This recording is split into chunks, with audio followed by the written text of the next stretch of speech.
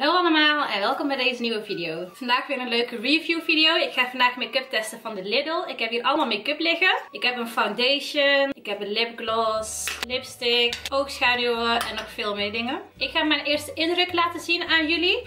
En ik ga met jullie mijn dag door en dan laat ik aan het einde van de dag zien hoe de make-up er nog op zit en wat ik er uiteindelijk van vind. Ook heeft de Lidl leuke producten om je make-up eraf te halen. Ik heb daar ook een aantal producten van gekocht. Dus aan het einde van de dag gaan we ook samen mijn make-up eraf halen. En dan ga ik ook vertellen wat ik vind van die producten. Dus ben je benieuwd wat ik van de make-up van de Lidl vind. En wat ik vind van de make-up remover spullen van de Lidl. En hoe ik deze make-up look heb gemaakt. Dan blijf gewoon even kijken. Nou, we gaan beginnen. Deze twee plukken hier willen maar niet omlaag ik ga eerst even mijn gezicht primen met de LA Girl Pro Primer. Ik heb geen primer van het Lidl, dus vandaar dat ik deze gebruik. Als je misschien een beetje geruis op de achtergrond hoort, dan kan omdat het super slecht weer is. Er is echt heel veel sneeuw en heel veel wind. Dus het kan zijn dat je af en toe een beetje wind hoort. Nou, ik heb wel een foundation van de Lidl. Deze foundation heet Foundation. Super origineel. En dit is de kleur 040 Soft Caramel. Ik kon geen andere kleuren vinden. Dit was ook echt de laatste foundation. Dus het kan zijn dat er meer kleuren zijn. Maar dit was de enige die er in mijn Lidl nog was. Op de achterkant staan de ingrediënten. En er zit 30 milliliter in. En verder staat er eigenlijk niks op. Ik ga hem eerst even op mijn hand doen. Dit is dan de kleur. Ik denk dat hij best wel goed matcht met mijn huidskleur. Nou, ik ben benieuwd. Ik zet gewoon weer een paar stippen op mijn gezicht. Hij is best dik. Hij vult best dik aan. Dus ik hoop dat hij dan ook gewoon goed dekt. Ik ben echt zo benieuwd. Ik hoop ook dat hij mat is, want ik hou altijd van mat. Hij ruikt ook echt heel erg naar parfum. Het ruikt echt heel lekker. En dan ga ik het inblenden. De kleur is op zich best wel een goede match met mijn huidskleur. Daar ben ik best wel blij mee, aangezien dit mijn enige optie foundation was. Maar ik heb dus geluk bij merken die niet veel kleuren foundations maken. Die maken vaak dan de kleuren een beetje medium. En dat is vaak ook gewoon mijn huidskleur. Dus in bijna elke make-up lijn is mijn huidskleur er wel. Hij blendt best wel makkelijk uit. Hij dekt ook echt best wel... Dit is gewoon best een goede foundation. Dit had ik nou echt niet verwacht. Foundations zijn meestal het slechtst. Die worden meestal het slechtst gemaakt bij wat betaalbaardere make-up merken. Betaalbaardere. Maar deze is op zich best goed. Het is een beetje een medium dekking. Er is echt niks mis mee. De kleur is echt perfect. Ik ga iets meer aanbrengen om te kijken of dat kan. Of dat je deze gewoon meerdere malen kunt aanbrengen om het iets dikker te maken. Oké, nou dat maakt niet echt veel verschil. Dus dat heeft echt niet echt net. Je moet gewoon één keer aanbrengen en that's it. Je kunt de dekking niet echt meer maken. Maar tot nu toe vind ik deze foundation echt oké. Ik heb geen concealer of poeders van de, uh, ik wilde zeggen Action, van de Lidl. Dus ik ga even snel mijn eigen producten gebruiken en dan kom ik zo terug. Nou, ik heb concealer opgedaan, ik heb afgepoederd en ik heb een beetje hier gecontoured. Echt super lichtjes. Voor de rest heb ik nog niks gedaan. Nou gaan we verder met de ogen. Ik heb hier vier kleuren oogschaduw. Dit waren ook de enige kleuren die er waren. Dus ik heb ze gewoon allemaal gekocht. Ik heb één lichte nude kleur. Ik heb één bruinige kleur. Ik heb één blauwe kleur. En ik heb een roze kleur. Nou, ik heb ze even geswatcht voor jullie. Geen enkele kleur is echt volledig mat. De blauw en de bruine kleur zijn het meest richting een matte kleur. Maar er zit een lichte glans overheen. En de roze en de witte kleur zijn wel heel veel glans. Vooral deze roze kleur. Dat is echt een glitterkleur. Nou, toen ik deze swatches aan het maken was, ik moest best wel vaak eroverheen. Dus ze zijn niet echt heel goed gepigmenteerd. Maar ik denk dat je hier een prima alledaagse look mee kunt maken. Dus dat ga ik dan ook proberen. Oh, ik ben helemaal vergeten te vertellen hoe duur alles is. De oogschaduwen zijn 2 euro per stuk. En de foundation was ook 2 euro. Ik heb mijn ogen al geprimed met de concealer. Ik ga eerst deze witte kleur gebruiken om mijn hele oog af te poederen. Dit doe ik natuurlijk altijd eerst. Er is inderdaad niet heel veel pigmentatie. Normaal als ik zo'n soort kleur gebruik worden mijn ogen echt een stuk witter. En nou niet echt. Maar It's doing its job. Dus hij doet gewoon wat hij moet doen. Ik ga deze bruine kleur als transitiekleur gebruiken. Trouwens, de grotere blending kwast die ik altijd gebruik is gewoon van de Hema. Deze is echt goed. Er komt best wel veel poeder vanaf. Ik weet niet of jullie het zo kunnen zien. Is echt Echt, als je erop gaat, er valt echt allemaal poeder naar beneden. Dus je moet echt goed afstikken. De kleur is echt best wel mooi. Het is echt een mooie transitiekleur. Ik denk dat deze kleur geschikt gaat zijn voor heel veel huidskleuren. Behalve als je heel donker bent, dan gaat hij echt te licht zijn. Ik heb echt al heel lang geen alledaagse look meer gemaakt. Dus het is wel leuk om er weer eentje te maken. Nou, ik wil eigenlijk deze twee kleuren allebei gebruiken. Maar ik moet even bedenken hoe ik dat ga doen. Want roze en blauw is niet een kleurencombinatie die ik samen zou gebruiken. Ik denk dat ik de, ik denk dat de blauwe kleur op mijn ooglid doe. En met de roze kleur een beetje highlight. Ik ga even deze onder mijn wenkbrauwen doen en zien wat er gebeurt. Hopelijk is hij niet roze. Maar op de swatch op mijn hand leek hij meer naar de witte kant dan naar de roze kant. Dus ik denk dat je er wel mee kunt highlighten. doe hem even onder mijn wenkbrauw. Ja, hij is echt super mooi als highlight. Je ziet wel een lichte roze glans, maar het is niet te roze. Dus je kunt gewoon prima mee highlighten. Nou ga ik de blauwe kleur helemaal op mijn ooglid doen. Ik ga nou kennelijk dus een blauwe ooglook doen. Dat wist ik nog niet voordat ik begon. Ik maak ook mijn kwastnat met MAC Fix Plus. En ik doe dit gewoon op mijn hele ooglid. Nou, er komt echt bijna geen kleur. Zelfs met MAC Fix Plus komt er niet echt veel kleur vanaf. En er is best wel veel fallout. Je kunt hier zien, het valt allemaal naar beneden. Ook blijft het echt heel poederig nog op mijn oog. Dat is ook echt minder. Ik wil echt een ooglook maken met alleen deze vier kleuren. Dus ik hoop dat het lukt. Ik hoop niet dat ik nog een andere oogschaduw moet gaan gebruiken die niet van de Lidl is. Wat ik wel echt mis is een hele donkere bruin of zwarte kleur. Dat was wel fijn geweest. Hij brengt ook niet gelijk aan. Op de ene plek komt meer dan op de andere plek. Dus je moet er echt best wel vaak overheen gaan om het mooi te maken. Echt mijn hele tafel hier ligt nou onder blauwe oogschaduwpoeder. Ik vind deze kleur echt niks. Nou pak ik deze bruine kleur en dan ga ik de randen een beetje uitblenden.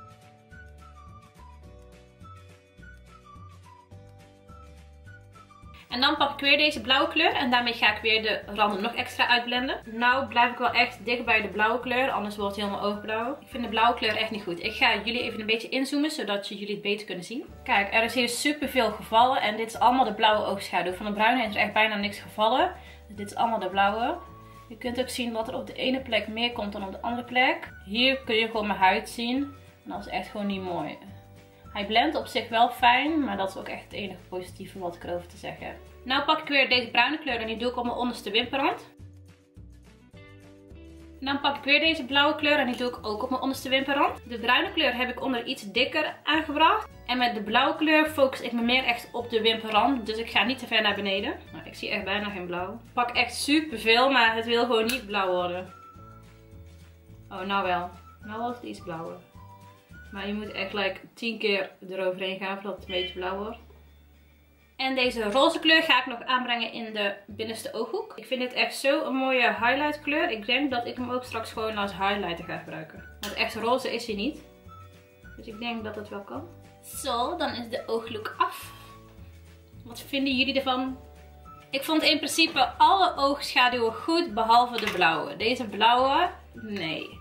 Ik zou deze echt niet kopen. Deze is echt niet mooi. Hij brengt gewoon niet mooi aan. Er zijn genoeg betaalbare merken met een blauwe oogschaduw die beter is dan deze. Dus ik zou hier je geld niet aan verspillen. Deze kleur vind ik mooi als highlight kleur. Ik denk dat als ik hem op mijn hele ooglid zou doen, ik hem niet genoeg roze zou vinden. Dus ik zou deze meer doen als highlight. Maar ik vind hem echt heel mooi. Deze bruine heeft me echt verrast. Hij is echt heel mooi als transitiekleur. Ik heb er echt niks slechts over te zeggen. Ik kan deze zeker vaker gebruiken. En de nude kleur was ook gewoon oké. Nou, ik heb ook een eyeliner van de Lidl. Dit is een stift eyeliner. Nou, op mijn hand brengt hij heel fijn en heel zwart aan. Dus ik hoop dat deze goed gaat zijn. Ik denk het wel. Oh mijn god, deze brengt helemaal niet fijn aan. De kwast is heel hard, dus hij beweegt niet echt mee. Wat een drama. En ik had nog zo'n goede hoop toen ik de swatch maakte.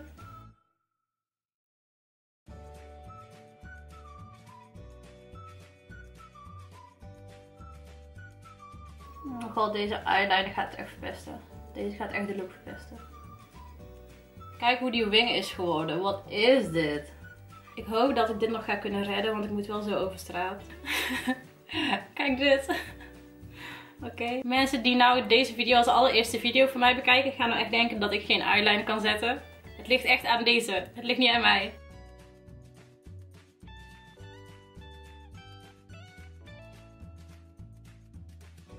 Oké mensen, dit kan echt niet hoor. Dit kan echt niet. Op zich, tot aan de wing is hij mooi, maar hier wordt hij echt veel te dik. Ik wil de wing gewoon weghalen en opnieuw beginnen eigenlijk. Nou, dit heeft een uh, eh, 20 minuten gekost. Ik vind de wing veel te dik, maar het is nou eenmaal zo. Als ik ze weer ga weghalen, verpest ik ook de oogschaduw. Dus ik wil dat niet doen. Ik ga hem gewoon hier ook zo dik proberen te maken. Dan mest hij tenminste nog. Oh, zo annoying. Nou, hier is hij wel iets beter gelukt.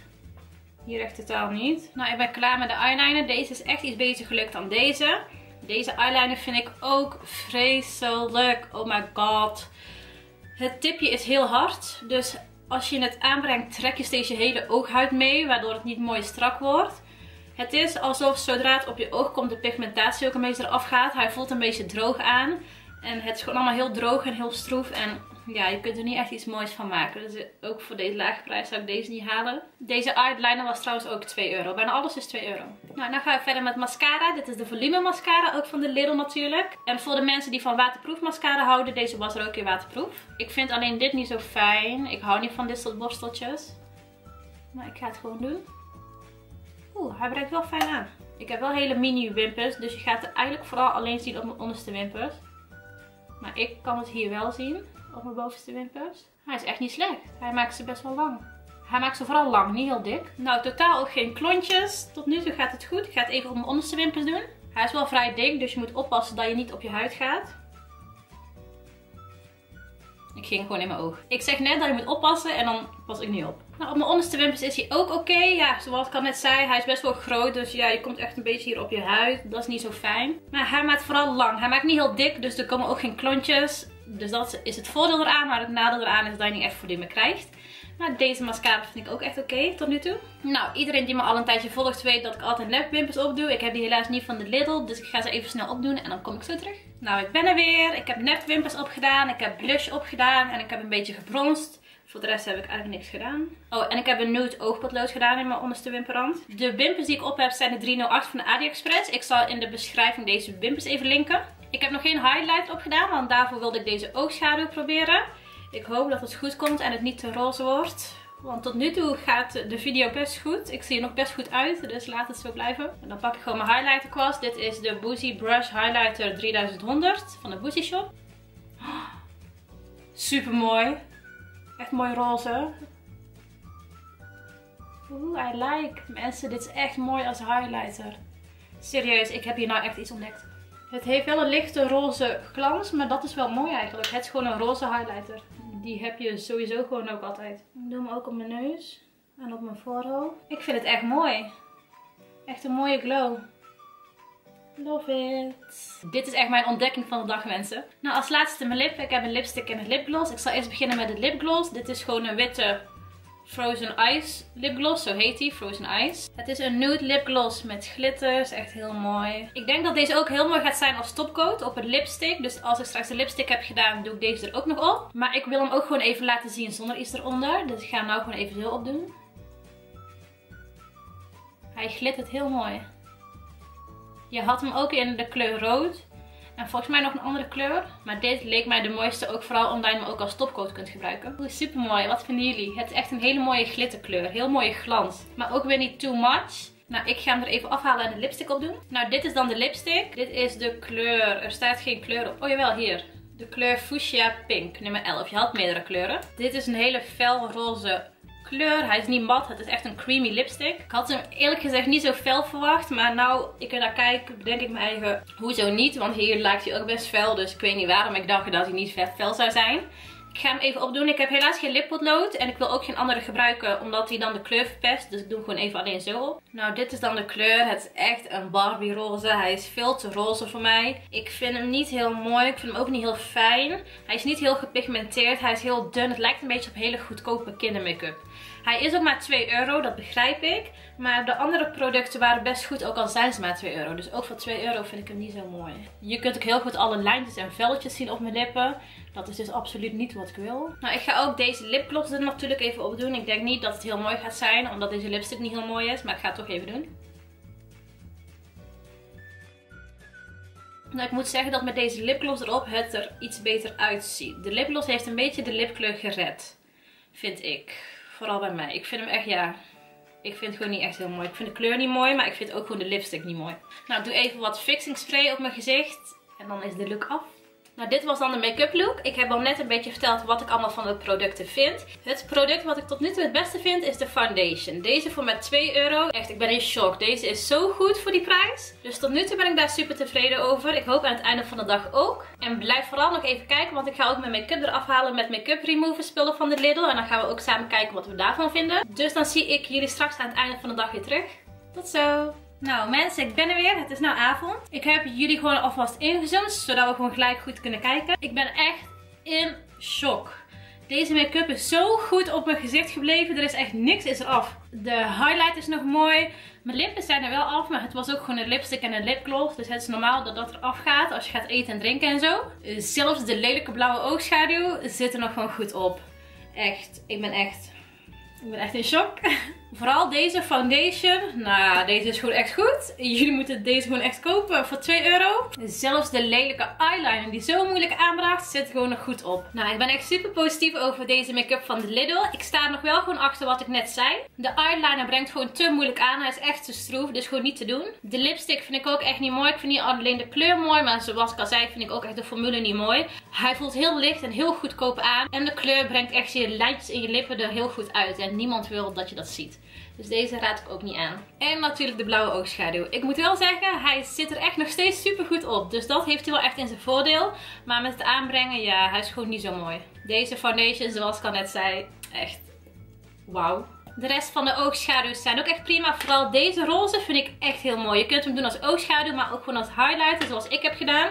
Ook die zit er echt nog best goed op. Dus het is ook echt toppie. En de mascara is gewoon, ja, is gewoon normaal. Is niet heel goed, niet heel slecht. Hangt er een beetje tussenin. Nou, ik had al verteld dat we ook samen de make-up eraf gaan halen. Dus dat gaan we even doen. Wat heb ik hiervoor? Ik heb deze make-up doekjes van de Lidl. Dit zijn de Sensitive Facial Wipes. En er zitten er 25 in. En het is zonder parfum. Je hebt hem ook met parfum, maar dit is dus de variant zonder parfum. De make-up doekjes die ik normaal gebruik zijn deze van de Action. Deze kosten 10 cent meer. Deze zijn 60 cent en deze zijn 70 cent. In allebei zitten er 25. En ik heb deze micellair water. Ik gebruik eigenlijk geen micellair water. Eigenlijk nooit. Dus dit wordt ja, niet de eerste keer. Maar ik heb het wel vaker gebruikt. Maar ik doe het niet elke dag. Dus ik ben benieuwd hoe deze werkt. En er staat op with cornflower blossom, water en glycerine alcohol free. Dus ook geen alcohol in. En het is voor normaal tot gecombineerde huid. Nou, dan gaan we even dit gebruiken om onze make-up eraf te halen. We gaan nu even verplaatsen naar mijn badkamer. Nou, we zijn nu in mijn badkamer. Ik ga eerst mijn make-up eraf halen met deze doekje.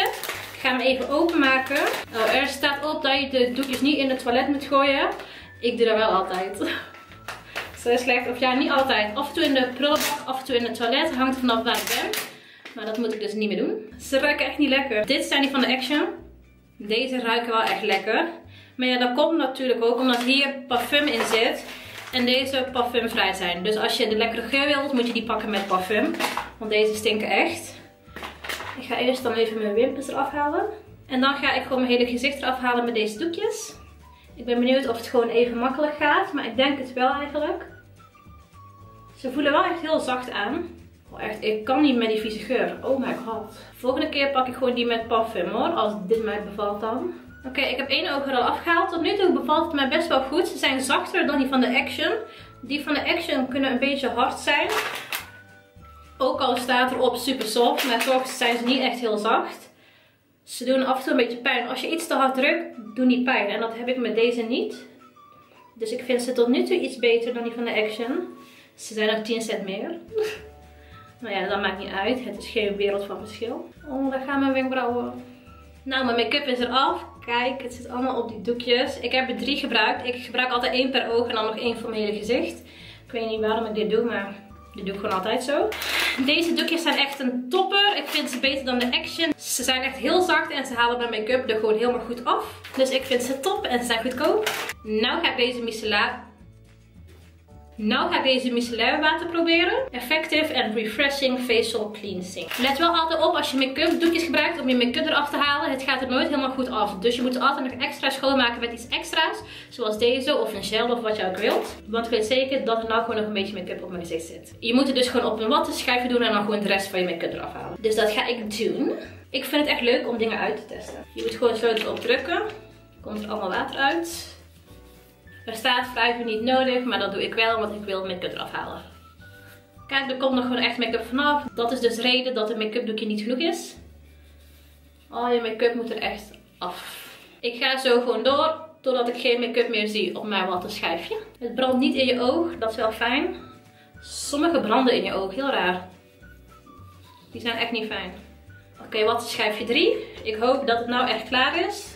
Alles is eraf. Nou ga ik even mijn gezicht wassen en drogen en dan kom ik zo terug. Normaal gebruik ik trouwens deze reinigingsgel van de Kruidsvat. Dus welke van de twee vind ik beter? Ik vind de micellair water makkelijker. Want je kunt gewoon snel met een doekje eroverheen je gezicht wassen en je bent klaar. Terwijl deze moet ik erop doen en dan moet ik het echt goed invrijven met een... Uh, Zo'n borstel die draait. Ik weet niet hoe ik het moet uitleggen. Ik zie hem hier nou ook niet liggen. Waar is hij? Met dit ding van de Action. Die doe je aan. En dan kun je het gewoon zo in rollen, wrijven, weet ik veel. Dus dit kost iets meer moeite dan met alleen dit. Maar ik vind dit ook heel fijn. Maar ik hou het denk ik toch gewoon op dit, omdat dit iets beter reinigt. Maar ik zal deze vaker nog gebruiken als ik gewoon snel wil zijn en geen zin heb om helemaal dit te doen. Nou, het is vandaag echt een super positieve video. Ik vind echt bijna alles goed. Nou, vond je deze video leuk? Vergeet niet te liken en te abonneren. Dat kan gratis hier beneden. Laat ook een leuke reactie achter. Dat vind ik ook altijd leuk. En dan hoop ik jullie snel weer te zien bij mijn volgende video.